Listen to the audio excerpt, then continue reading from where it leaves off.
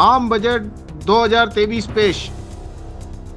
नए tax slab की घोषणा। सात लाख रुपए की आय पर कोई टैक्स नहीं। केंद्रीय वित्त मंत्री निर्मला सीतारमण ने बुधवार को 2023-24 के लिए नए टैक्स स्लैब की घोषणा की है। इस नई आयकर व्यवस्था के तहत सालाना सात लाख रुपए तक की आय पर कोई टैक्स नहीं देना होगा।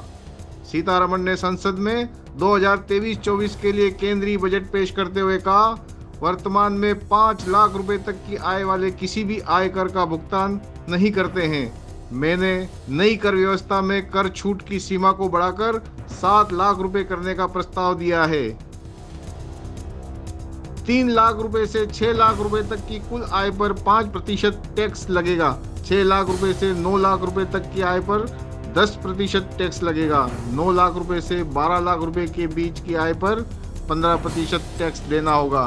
वित्त मंत्री ने बताया कि 12 लाख रुपए से 15 लाख रुपए की आय सीमा पर 20 प्रतिशत कर लगाया जाएगा, जबकि 15 लाख रुपए और उससे अधिक की आय के टैक्स स्लैब पर 30 प्रतिशत टैक्स देना होगा। आम बजट पर प्रतिक्रिया देते हुए प्रधानमंत्री नरेंद्र मोदी ने कहा अमृत काल का पहला बजट विकसित भारत के विराट संकल्प को पूरा करने के लिए एक मज़बूत नींव का निर्माण करेगा। ये बजट वंचितों को वरीयता देता है। ये बजट आज की आकांक्षी समाज, गाँव, गरीब, किसान, मध्यम वर्ग सभी के सपनों को पूरा करेगा। अमृत काल का ये पहला बजट विकसित भारत के विराट संकल्प को पूरा करने के लिए एक मज़बूत नींव का निर्माण करेगा।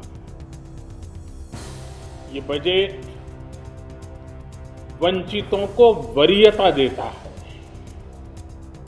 ये बजट आज की एस्पिरेशनल सोसाइटी गाँव, गरीब, किसान मध्यम वर्ग सभी के सपनों को पूरा करेगा।